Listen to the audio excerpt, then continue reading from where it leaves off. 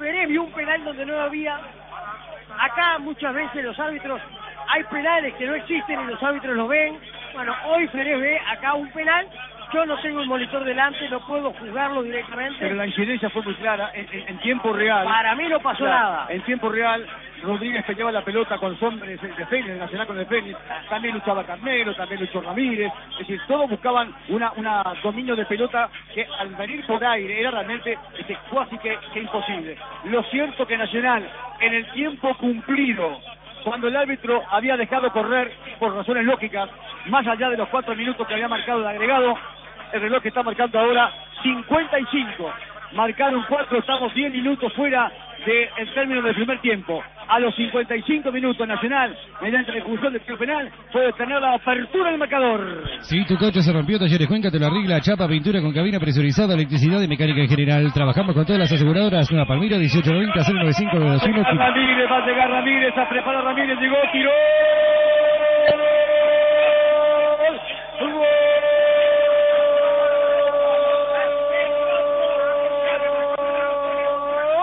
Nacional, Juan Ignacio Ramírez, con potente derechazo, dejó sin asunto al guardameta, cuando Leonel Rocco sale expelido abiertamente su banco suplentes a reclamarle al tercer árbitro, a la bandera número, no, a la bandera número uno, a la del señor Santiago Fernández, también al cuarto árbitro, que posiblemente haya invasión. Enojadísimo el técnico del conjunto Capurro pasó a ganar Nacional. Minuto 55 del primer tiempo. Nacional 1, Félix Poco le importó el color Ramírez si era no era penal. Cambió penal por gol. Remató muy bien de pierna derecha contra el palo diestro del guardameta que se la jugó hacia el otro lado. Marcó la apertura del tendedor, un Nacional que no lo merecía, un Nacional que jugó muy mal, pero que el Colo Ramírez le muy bien. La bronca a la gente de Félix entendible hace el gol y termina el primer tiempo. Rocco explotó para protestarle a Daniel Rodríguez, el cuarto árbitro. Lo de Pérez en esta decisión, la verdad, no lo puedo acompañar. Para mí me genera enormes dudas. Nacional, que jugó rematadamente mal, se va ganando al cabo de los primeros 45 minutos por un penal sumamente dudoso que el VAR llama al árbitro y este lo convalida. El Colo Ramírez le dio la apertura al tricolor. Es otro golazo de Superfútbol en Radio Cristal del Uruguay. Respira Cristal donde está complicado, no está bajo el todo, no está cerca, busca Ferreira, en el mano a mano, Ferreira se mete, Ferreira llegó, tiró, rebotó, rebotó, rebotó el nombre tricolor y el árbitro que cobra, penal. Penal, ya. ¿Usted lo vio penal? Lo cobró Félix, sí, pero está bien. Una cosa, para mí la pelota rebota en una mano. Para mí en el pecho. No, pero, para mí rebota en mano. Mire usted, mire usted, cuando Ferreira enganchado de la punta al medio, cuando no le salía la marca a Lozano, Ferreira que le pegó muy mal en un par de oportunidades, sacó el zapatazo, pierna derecha, la pelota en el camino pega en la humanidad de un hombre tricolor, cayó el de Nacional, yo no vi la mano, Pérez pitó, tiro penal para Fénix. va toda la ciudad a protestar, pero me parece en esta le asiste la razón al árbitro del partido. Es cierto que la pita a instancia de y lo protestan todos. Martín Juárez, te pido objetividad en la jugada. ¿Pega la mano o no pega la mano? Es mano y adentro del área. El jugador está en el borde, el jugador está en el borde del área, pero la mano está dentro del área. Ah, pero está pisando la línea, penal. Si pisa la línea, penal. Si está fuera de la línea y la mano está adentro, es tiro libre. Bueno, ah. señores, lo cierto, 50 minutos, 5 minutos de agregado, 40 segundos. El partido terminaba a los 51 será la misma historia que el primer tiempo que se termina concretando el, remate, la ejecución del penal, cuando el tiempo ya estaba recontra cumplido. Lo cierto que Fini tiene la posibilidad del empate. Fini tiene la posibilidad de recatar un punto en esa lucha sin tregua, sin cartel, donde trata de salir de la parte baja de la tabla. Al remate, ¿quién se viene? Michael Ferreira. Michael Ferreira, el 20. El hombre que salió el remate. Se viene Michael Ferreira.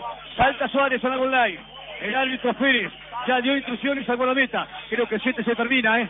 Creo que Z se termina. Va a llegar Félix. El tiempo está cumplido. Hay indicaciones para el chico Suárez.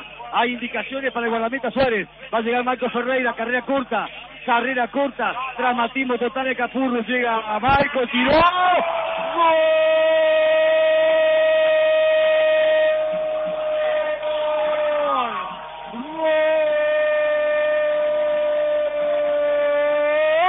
Félix! Un penal notablemente ejecutado por Marco Ferreira con una frialdad, una precisión, una sobriedad realmente llamativa. Ingresó en el segundo tiempo, hizo una gran segunda mitad, ejecutó el remate tocando, acariciando suavemente de pierna derecha al palo diestro, por el guardameta Suárez, a la izquierda fue la pelota, lo empata Fénix para mí en la última, la última, la última del partido. Y aquí culmina el compromiso. En la última del primer tiempo, el gol de Nacional. En la última del partido, el gol de Fénix. Realmente, si escribimos el guion de esta película, no lo cree nadie, Veiga. Por favor, un titular, lo escuchamos. Señores, justicia en el Parque Capurro.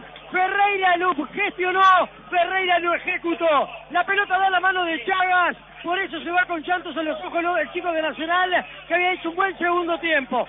Pero no era justo que Nacional se llevara los tres puntos de Capurro. Félix había hecho mérito para el empate. Lo más justo hubiera sido el 0 a 0 o el 1 a 1. Lo encuentra en el último minuto, en el último instante. Michael Ferreira le pegó con clase, con jerarquía, abrió el pie derecho, la puso contra el palo zurdo para que la gente de Capurro rescate un punto importantísimo pensando en la tabla de abajo. Nacional vuelve a defeccionar, Nacional vuelve a dejar unidades, Nacional de Recoba no levanta cabeza. ¿Era este Nacional el responsable Gutiérrez? Pues este plantel de Nacional que no tiene jerarquía. Me quedo con lo segundo. La falta de jerarquía de los jugadores de Nacional llama la atención. Fénix logra el justo premio, lo fue a buscar y lo termina consiguiendo en el último instante del partido. Bueno, señores, un final de realmente dramático. Cuando terminaba el primer tiempo, un penal muy controvertido, muy cuestionado, justamente por parte del ejecutado por el parte de Colo Ramírez. Vamos con el pique, por favor, y volvemos.